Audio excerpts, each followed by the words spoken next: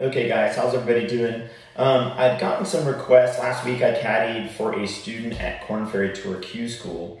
And between my college players and professionals and some people on Instagram, I'd gotten some requests for what I had learned at Q School. So I'm happy to have individual conversations with some people, but I thought maybe I could um, share some of the things that I learned here on a video on Instagram. And you know, whether it's Q School or any tournament, I think this is relative to all of them. I think Q School, to me, always kind of when I was playing, I think I played in that seven or eight times. You know, it's kind of the Olympic qualifying for our sport, meaning you get one try a year and you kind of have to bring your good stuff out to make it. Because last week it took 26 under, 1, and 10 under to make it. And my student that I caddied for shot 10 under to make it on the number with um, shooting four under his last nine holes to make it. So we're going to get into that a little bit as well. I was super proud of him. And I also had, just like I went through in my career, uh, a few people have some heartbreaking misses. They played well. You know, you shoot, say, nine under par and you barely miss. So, you know, kind of we'll start out with just I guess the important thing that I saw is leading up to big events like that, if you prepare well all the time, you really should change nothing you know, I always have noticed when you see the player down on the end of the range, their dad or their caddy, and they're panicking and they're, you know, not doing their normal system checks and stuff, but they're they're searching. You know, you got to show up with the race car ready to race. You rarely are to really find good enough stuff at a big event like that. Um, panicking at the last minute, it happens. You make an adjustment and things go way better. But for the most part, all the preparation that leads up to that moment should be done well in advance. So you start there. Prepare like you always prepare, which is you should always be preparing to be at your best at all times. So I, I wouldn't really change anything going into a big event. Two, you know, I, I would say try and normalize all your tournaments as much as you can, where you make the environment just like any other event or any other day, you know, which is how you practice, your warm up, your preparation, where you eat, what you're talking about and thinking about as you play. And again, all the old cliches of golf, you know, which is just playing one shot at a time. And we're going to get into why that's so important, like even uh, in regards to the last nine holes that we had where David made it.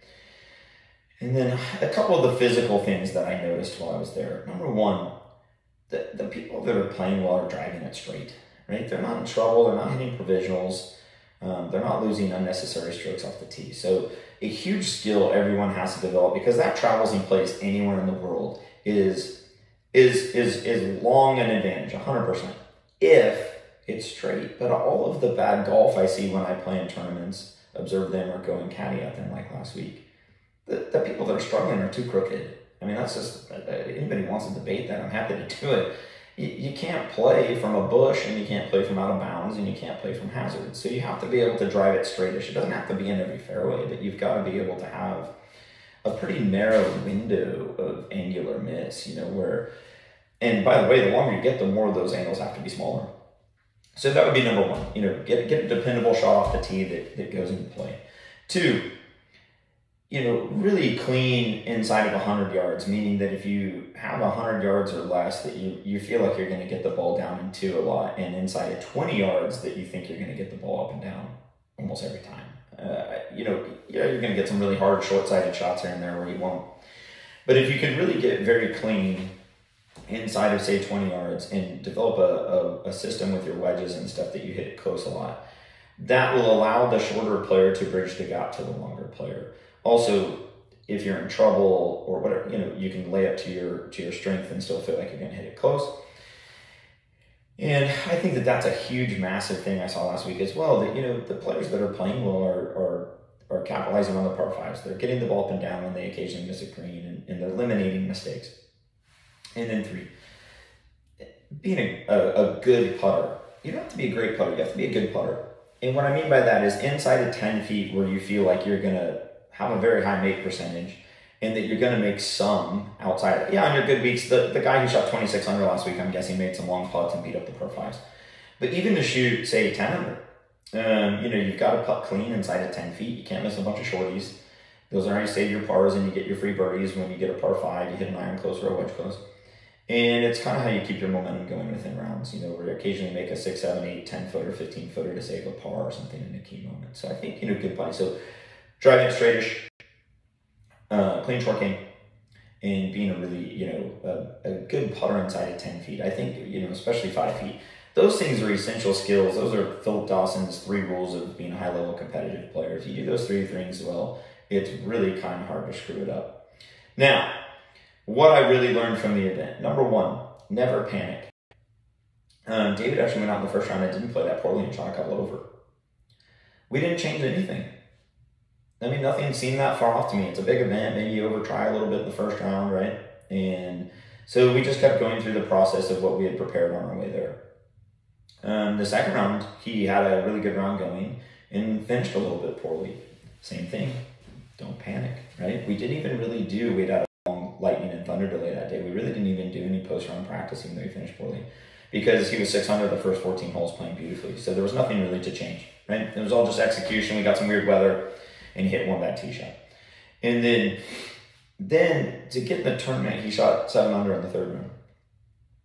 You can't force those rounds; they just happen. You start on the first hole and you try and hit a quality tee shot, and you work through your process all day, and you just play. And that day, it ended up shooting seven under for us, which obviously was key for him making it because we were even par after two rounds, and you know the number was trending where it was going to be somewhere in the neighborhood of nine to twelve under, somewhere it was going to make it.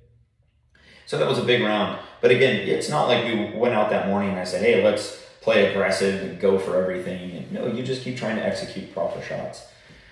The last day, uh, we played nicely on the front. He shot one over, just didn't get much going. And with nine holes to play, obviously the whole tournament's on the line. And I was super proud that when we started the back nine, we really just kept trying to execute his routine and his process as best we can. And typically to me really good nines or 18 holes don't you can't force them. They just happen. And we even on that back nine knowing he needed you know say kind of a four or five under score to make it we aimed away from a couple of flags. The 11th hole we aimed 25 feet right at the pin. Um, because you still just have to play proper golf. And he had a little key stretch in the back nine there where he went birdie birdie birdie eagle which obviously was kind of the deciding factor to him making it lot of people, oh, that was clutch. Of course it was. But it wasn't like we tried anything different. Uh, we just kept trying to execute what we know.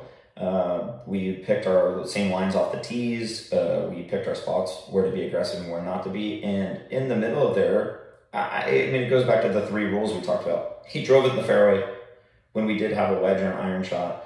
Um, he hit some close. And the other thing, he made a couple of key putts. You know, he didn't make a 30 footer or anything, but he when he hit it, he hit it inside of 15 feet. Uh, let's see, all four of those holes, and he made them all. And so that's a big key. Two, three of them were short putts, and one of them was about a 15 footer, I would say. But you still have to walk in and go through routine and hit a quality putt to make those.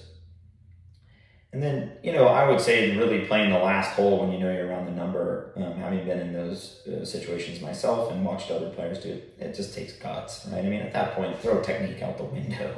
Um, everyone's got cool technique at that level, or at least technique that repeats.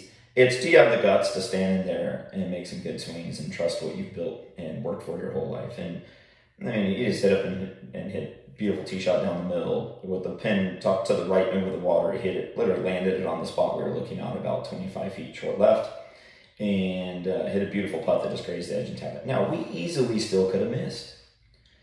A guy had to finish three over his last two holes just for us to tie for 25th. Had he missed, he still played a clutch round. He shot 65, 69 the last two days to make it. So had he missed, should he hang his head? Should he question what he's working on? Because really, some of those things are out of your control, which always goes back to the cliches that we can only control what we can control. So I know this video is a bit long, but I mean, there's just so much that I learned from the experience. I mean, I could I could sit here and talk for another 30 minutes of what I learned last week, but I think that really sums it up. And then also, I had a really really good player I've coached for a long time, barely miss, and I flew home with him, and I was super proud of his attitude. He handled like a champion. No no real emotional attachment other than he said he was going to use it to fuel his fire to do even better and to work out and, and work harder in his game. So, you know, these are all the things that elite players do. At that level, everyone's good. It's just a matter of can you execute what you know in a big moment. And that's a duration of time to prepare for those things. And really some deep self belief. And that's why there's so few great players that can really go do it. So anyway, I hope you guys glean a little bit from this about you know the three physical skills. Trading in every tournament is the same, where you just go through your same process and you prepare all the time. And then the oldest cliche in the book: all we could do was play one shot at a time and do the best we could on each one. And then he had the guts to go do it, and a couple good breaks for it to get done. So, um, a lot to take from those experiences. Um, for any of you that you know are, are thinking about pro golf or want to play pro golf, all I can tell you is prepare really hard. There's a lot of great golfers, and it's really, really tough. So, anyway, if you guys have any questions, feel free to hit me up on a DM or shoot me a text. And I hope you guys took some good information from this to help you as you prepare for your tournaments in the future.